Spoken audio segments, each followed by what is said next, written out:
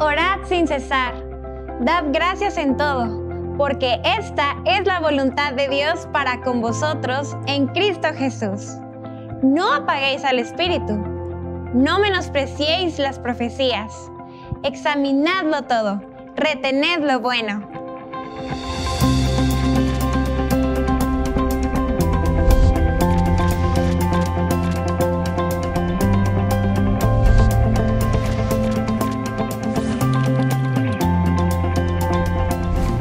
largo de 15 largos años, el poeta italiano Dante Alighieri escribió la que es sin duda alguna su obra más famosa, la Divina Comedia, un texto que tendría una influencia increíble en la comunidad cristiana. Y no es para menos, porque el tema del infierno es un tema lleno de intriga. Sin embargo, ¿qué hay de cierto en todo lo que se ha escrito desde entonces? ¿Qué tiene la Biblia que decirnos al respecto? En este momento, en el repaso de la Escuela Sabática Universitaria, vamos a intentar resolver algunas de las dudas que plantea el estudio de este tema. Y para eso estamos aquí en el plató. Yo y mis compañeros vamos a intentar, al estudiar este tema, esclarecer esas dudas precisamente. Mi nombre es Isaí Ramírez y te invito a quedarte con nosotros para descubrirlo. Ahora que nos vamos a presentar los que estamos aquí, me gustaría que contestáramos también esta pregunta. ¿Qué ideas populares han escuchado respecto al tema del infierno? Mi nombre es Ruth Badilla y yo he escuchado que es un lugar donde hay muchos gritos y mucho horror. Mi nombre es Ciprián Mojorea y la idea que yo he escuchado es que Satanás es el encargado, el jefe del infierno. Hola, yo soy Noemí y sobre el infierno he escuchado que existen pailas también conocidas como ollas diferentes que arden en también distintas intensidades. Ok, muchas gracias. Pues ahora que tenemos estas ideas, vamos a ver si a partir de ellas podemos desmenuzar correctamente el tema. Pero antes me gustaría que invocásemos a Dios para estudiar a su palabra. Vamos a orar entonces.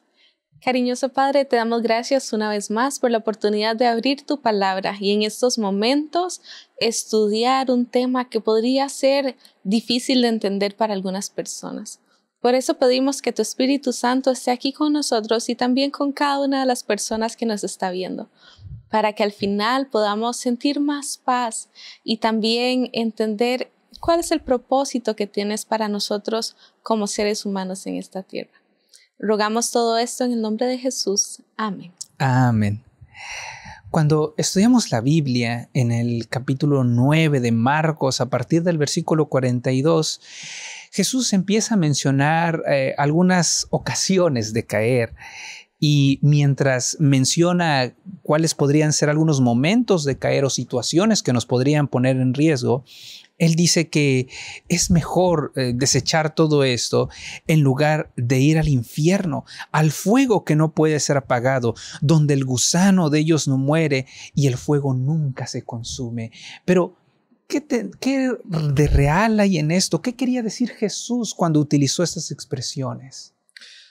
Bueno, ese es un texto bastante difícil de entender y Quizás me gustaría regresar a ver de dónde Jesús sacó o a quién citó Jesús cuando dijo eso. Entonces vamos a regresar a Isaías porque eso son prácticamente los versículos con cual se cierra el libro de Isaías. Entonces, en realidad Jesús estaba citando a Isaías. Así es, Jesús estaba citando a Isaías. Y para entender eso tenemos que ver qué quiso decir Isaías en su contexto sobre ese, mm, ese versículo. Entonces, el versículo anterior dice, sucederá de una luna nueva a otra y de un sábado a otra, toda la humanidad vendrá a postrarse ante mí, dice el Señor. Y el 24, entonces saldrán y contemplarán los cadáveres de los que se rebelaron contra mí. Y aquí viene lo que Jesús cita. Entonces, en ese contexto, primero lo que debemos destacar es que se trata de unos cadáveres. Entonces, no hay algo más muerto que un cadáver. Están sin existencia. Ahora, Quizás que en la última lección también vamos a profundizar un poquito más. En el libro de Isaías, él hace profecías en cuanto a la tierra nueva, pero algunas profecías son básicamente en cuanto al Israel. Si ellos hubieran aceptado a Jesús como Mesías, algunas de esas profecías se hubieran cumplido literal en esa tierra y otras en la futura. Entonces, eso yo creo que se iba a cumplir en el presente. ¿Por qué? Porque en el cielo no iban a ir cada año y ver cadáveres, porque sabemos que en el cielo no van a estar cadáveres, no habrá sufrimiento, no, no habrá ese tipo de realidad. Entonces, en ese contexto, Isaías quiere decir que ellos van a ver que los malos, los malvados van a ser destruidos. La suerte de los malvados no van a existir y ellos no van a poder ser fuente de atormentar. Y además, el gusano eterno no puede comer un cadáver que pues que se descompone, sino más que todo esa destrucción, ese efecto va a ser para siempre.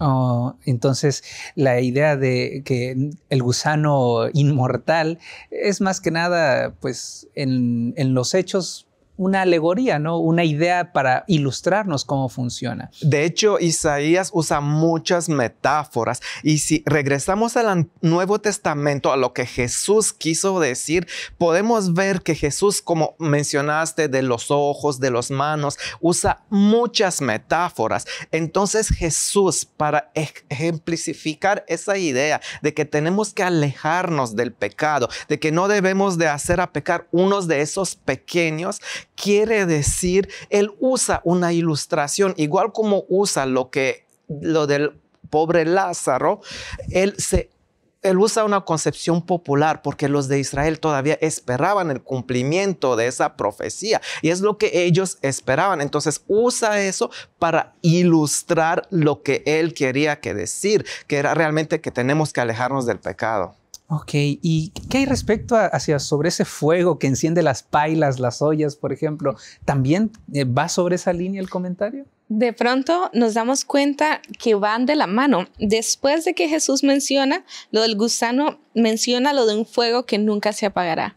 Si de pronto no creemos que haya sido algo metafórico, como nos explicaba Chipri, sino que lo queremos tomar literal, necesitamos, y esto quedará para casa, investigar y nos vamos a dar cuenta que los tiempos verbales en el idioma original eran los mismos y que justamente hay otro versículo que usa esta misma eh, advertencia y está en Jeremías 17, 27 y lo quiero leer rápidamente y dice así. Pero si no oyereis para santificar el día de reposo y para no traer carga ni meterla por las puertas de Jerusalén en el día de reposo, y aquí viene la advertencia para el pueblo de Israel en ese entonces, yo haré descender fuego en sus puertas y consumirá los palacios de Jerusalén y no se apagará.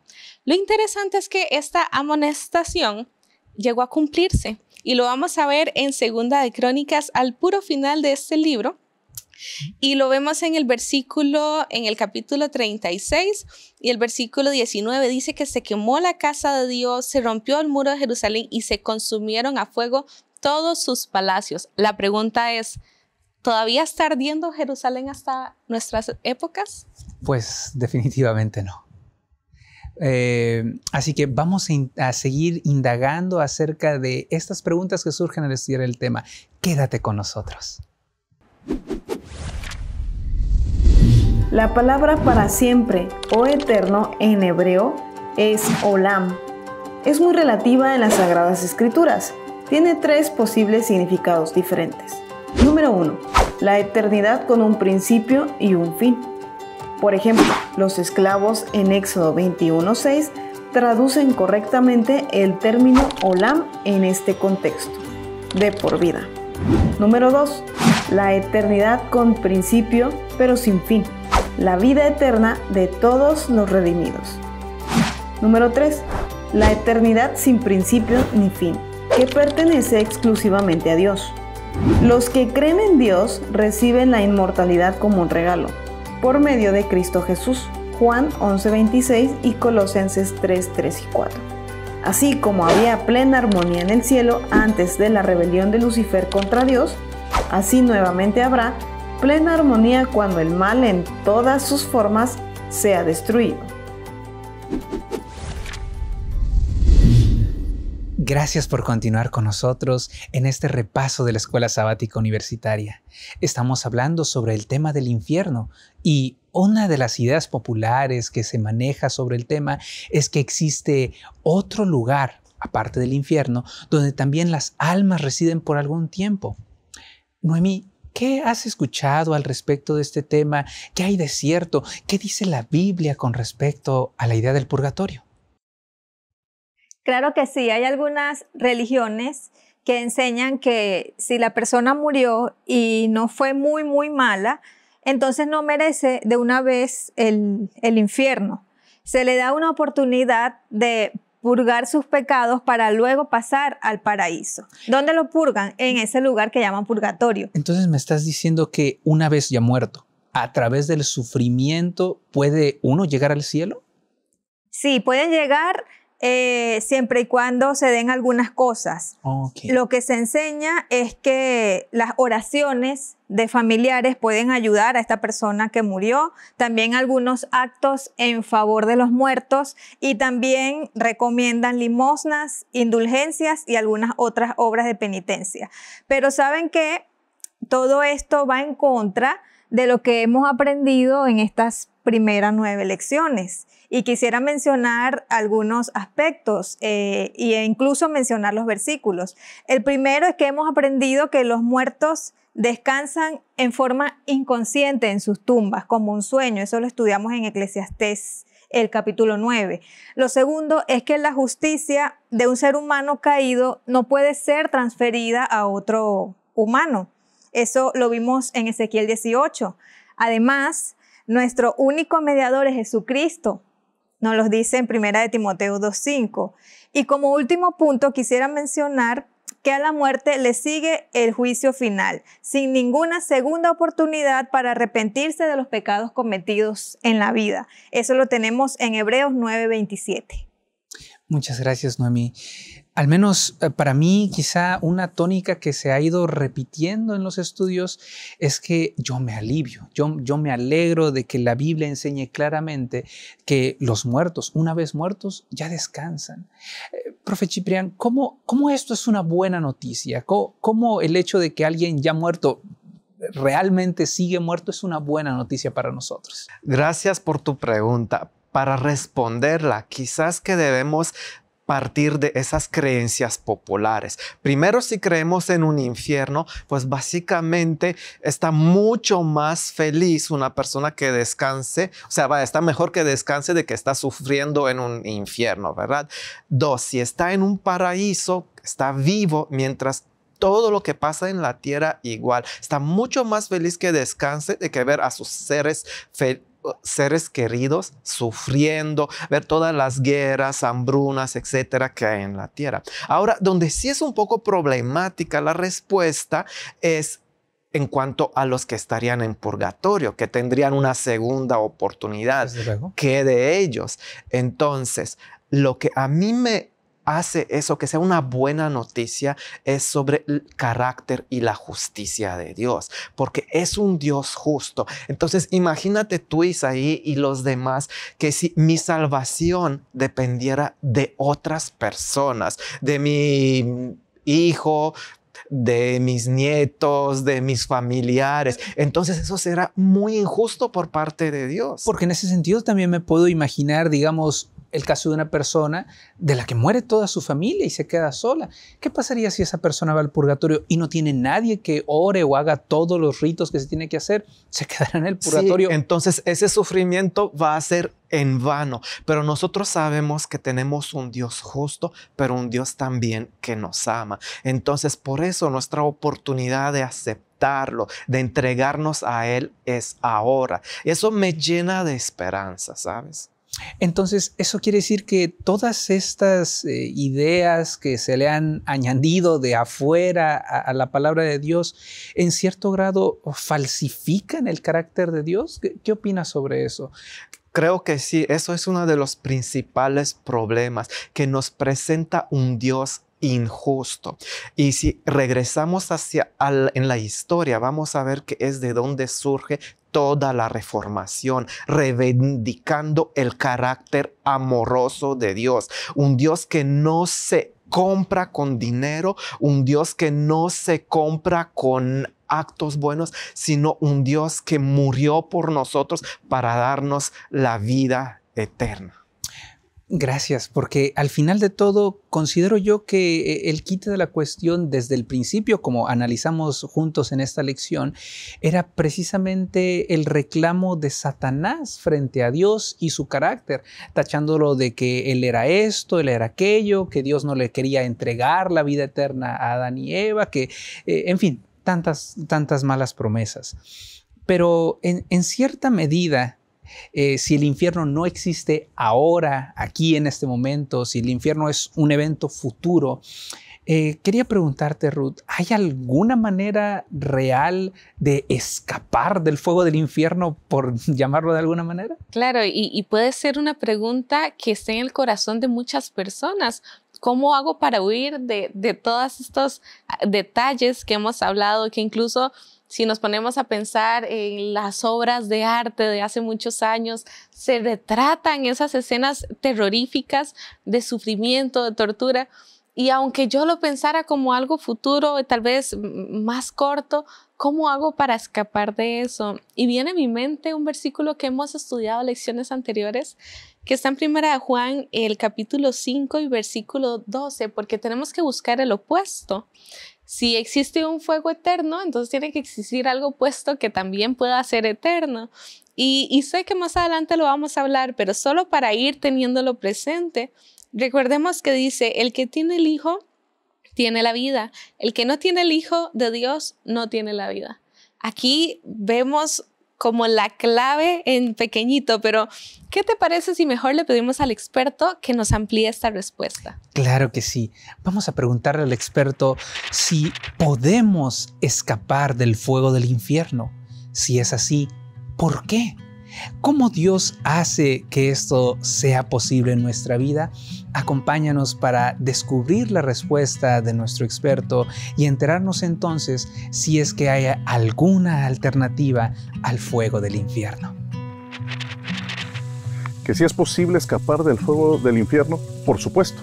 Para empezar, porque según San Mateo capítulo 25, el lago de fuego fue preparado para el diablo y sus ángeles, para ningún ser humano si desafortunadamente un ser humano va a parar ahí y tristemente serán millones, será por decisiones personales, porque usaste o usé, usamos nuestro libre albedrío para alejarnos de Dios. Por eso iremos a parar ahí, no porque sea para nosotros ese destino.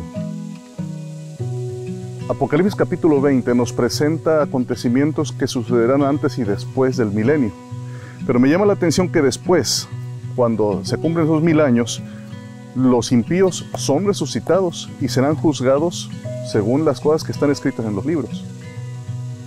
Y entonces, contrario a la creencia popular, sucederá algo eh, bastante interesante. E, en la, gente, en el mundo, mucha gente piensa que el diablo es el gerente del infierno. Si tú eres mandado al infierno, pues el diablo te recibe, se burla de ti, te avienta las llamas y se divierte contigo con, con un trinche. No hay tal cosa. El diablo no es el que manda en el, lago de fuego.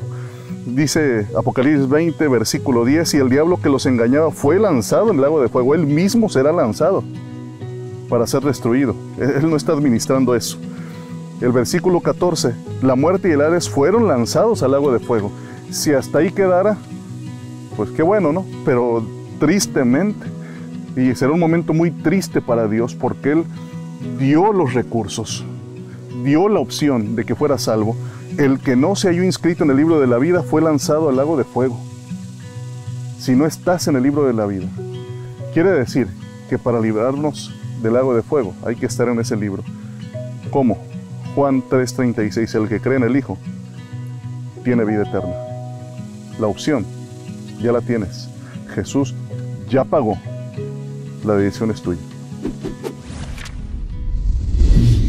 Agradecemos al pastor Oscar Rivera por responder tan acertadamente esta pregunta que le realizamos. Y a propósito, como él mencionaba, eh, Ruth eh, en la sección anterior precisamente había mencionado la otra alternativa que existe. Si en un extremo está el fuego del infierno, ese fuego eterno, que ya vimos que es eterno en consecuencias, eh, hay entonces una esperanza eterna. Noemí, ¿qué nos dice al respecto la Biblia sobre esta esperanza de vida eterna? Claro que sí, la respuesta la tenemos en Primera de Juan, capítulo 5, versículos 11 y 12. Y este es el testimonio que Dios nos ha dado vida eterna y esta vida está en su Hijo. El que tiene al Hijo tiene la vida. El que no tiene al Hijo de Dios no tiene la vida. En su momento, en el Edén, cuando nuestros primeros padres cayeron, perdieron la bendición ¿no? de la vida eterna. Y ellos eh, nos arrastraron a nosotros en esto, a la humanidad hasta el día de hoy.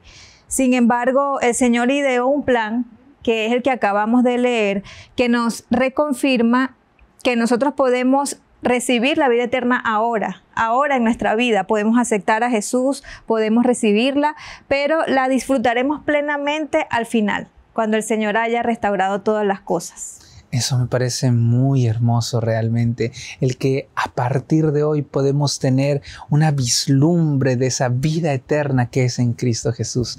Muchas gracias. ¿Saben? Para ir concluyendo con este repaso, hay eh, una, una, cuestión que a, mí me, me, llamó poderosamente la atención cuando estábamos eh, leyendo sobre, sobre este tema. Eh, y, profe Ciprián, hace, hace un momento, mientras nos preparábamos para este episodio, me mencionó que usted estudió literatura, ¿es así? pues como ávido lector, uno, uno de los momentos que sí o sí se tiene que ver en literatura universal es precisamente el trabajo de Dante Alighieri, pero desde su perspectiva como maestro, ¿cómo es que lo que leemos, lo que consumimos, el cine que vemos, las series, cómo todo esto influencia en lo que creemos a nivel personal?